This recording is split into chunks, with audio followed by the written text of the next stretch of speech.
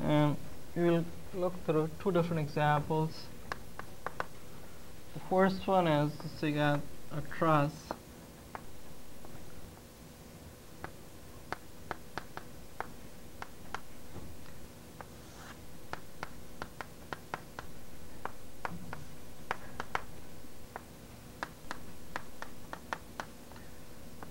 so it has force here as 10 kips. So for this truss, the question is to find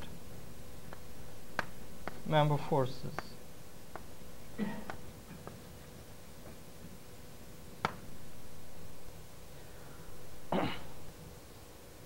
or find all the member forces. So let me number these joints. Let's call this joint as A, this as B, this as C. So there are three members. You have member AB, then you have member BC, and you have member AC. So these are three members, which means there's going to be three unknown member forces. There will be the same member force FAB, there's going to be a member force FBC, and there's going to be a member force FAC. Now, we need to do a quick count on the unknowns. See, this is a hinge, so that's two reactions. Then you have a roller, that's another reaction. So that gives you three unknown reactions. Then we got these three. These are unknown member forces. So that will be three unknown member forces. That gives you a total of six unknowns. Then we have three joints. So each joint, you could write two equations of equilibrium. So you have three joints Then you multiply this by two equations of equilibrium per joint.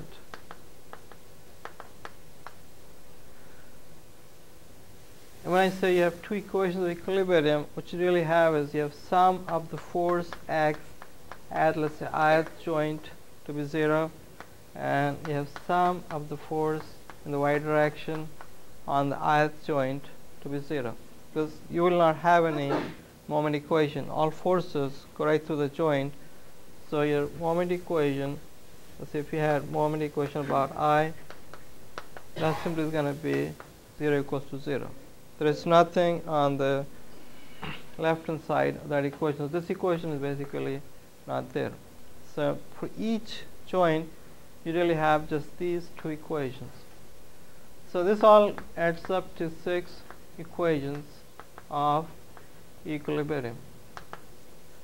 So you have six unknowns and you have six equations.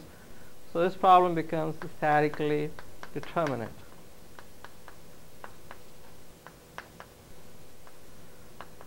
Or in, in other words, we could say that you have enough equations to solve for every unknown in this particular problem.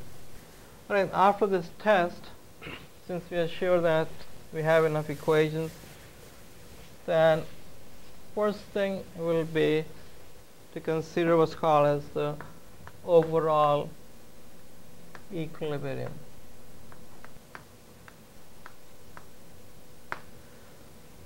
so we redraw the same truss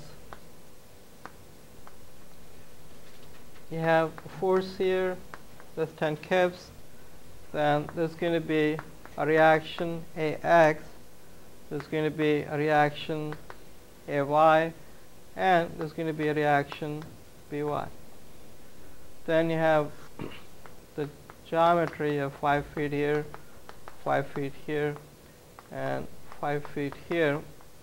So this is 5 and 5 this angle is going to be 45 this angle also going to be 45 so from this I can sum the force along x that should be 0 that gives you your first reaction as 0 then you sum the force in y direction. You get a y by minus 10 that goes to 0 then I can choose a point let's say a.